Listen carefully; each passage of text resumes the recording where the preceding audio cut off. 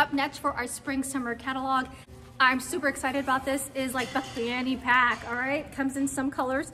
Again, with that uh, warm or bright kind of colors. Let's go ahead and go with this one. This one is um, large adjustable strap.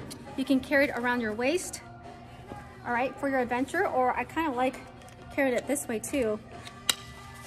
Like a sling back, go like this, or another way is you can go like this, or you can carry it on around right here too, kind of like a crossbody.